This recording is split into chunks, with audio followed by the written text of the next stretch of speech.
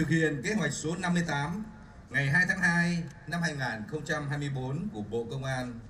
Sau thời gian chuẩn bị Sáng 17 tháng 6, tại quảng trường mùng 10 tháng 3 thành phố Buôn Ma Thuột, Bộ Công an phối hợp với Ủy ban nhân dân tỉnh Đắk Lắk tổ chức hội thi nghiệp vụ chữa cháy và cứu nạn cứu hộ tổ liên gia an toàn phòng cháy chữa cháy toàn quốc năm 2024 vòng 2 khu vực 4.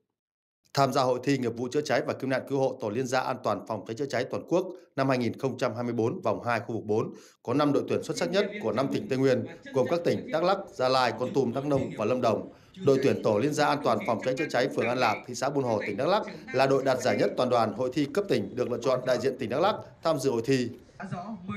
Theo điều lệ hội thi, các đội phải trải qua hai phần thi. Phần thi lý thuyết trả lời các câu hỏi về kiến thức an toàn phòng cháy chữa cháy cứu nạn cứu hộ và phần thi thực hành xử lý tình huống chữa cháy, cứu người, di chuyển tài sản đối với loại hình nhà ở kết hợp sản xuất kinh doanh. Ở tình huống này, yêu cầu các đội sau khi phát hiện có cháy xảy ra phải nhanh chóng tập hợp lực lượng, phương tiện tại chỗ để triển khai dập tắt đám cháy, cứu hai người bị nạn và di chuyển tài sản đến nơi an toàn. Sau một thời gian tranh tài sôi nổi, kết thúc hội thi, ban tổ chức đã trao giải nhất toàn đoàn cho đội thi của tỉnh Đắk Lắk, đội thi của tỉnh Con Tum xếp thứ nhì và đội thi của tỉnh Đắk Nông xếp thứ ba. Đây cũng là ba đội thi được lựa chọn tham dự vòng chung kết toàn quốc, hội thi nghiệp vụ phòng cháy chữa cháy cứu nạn cứu hộ, tổ liên gia an toàn phòng cháy chữa cháy, dự kiến tổ chức vào tháng 7 tới đây tại thành phố Hải Phòng.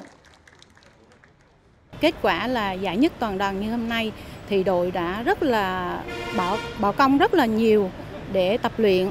và với sự động viên nhiệt tình kịp thời của trưởng công an thị xã và sự ờ, nỗ lực của anh em trong toàn đội để ờ, tạo nên cái thành công của ngày hôm nay. Cuộc thi này mang lại rất là nhiều ý nghĩa. Ờ, bản thân thì được tham gia trải nghiệm và học hỏi, có những cái kiến thức, kỹ năng cơ bản áp dụng trong phòng cháy chữa cháy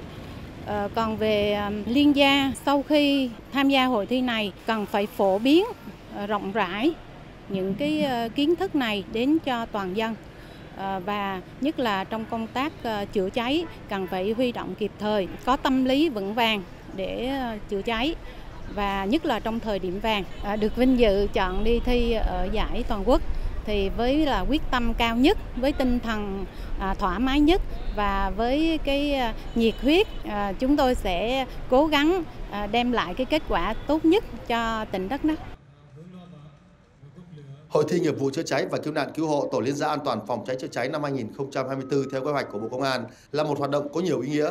Qua đây nhằm nâng cao nhận thức đảm bảo an toàn phòng cháy chữa cháy cho các tổ liên gia và kỹ năng sử dụng các trang thiết bị chữa cháy tại chỗ để xử lý tình huống cháy nổ, cứu người, cứu tài sản.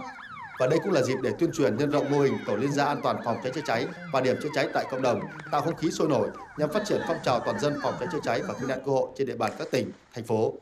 Với những hoạt động này sẽ góp phần đưa các tổ liên gia an toàn phòng cháy chữa cháy đi vào hoạt động thực chất hơn, phát huy hiệu quả phương châm bốn tại chỗ trong phòng cháy chữa cháy, cứu nạn cứu hộ, xử lý các tình huống sự cố cháy nổ xảy ra tại các khu dân cư, nhất là loại hình nhà ở kết hợp với sản xuất kinh doanh.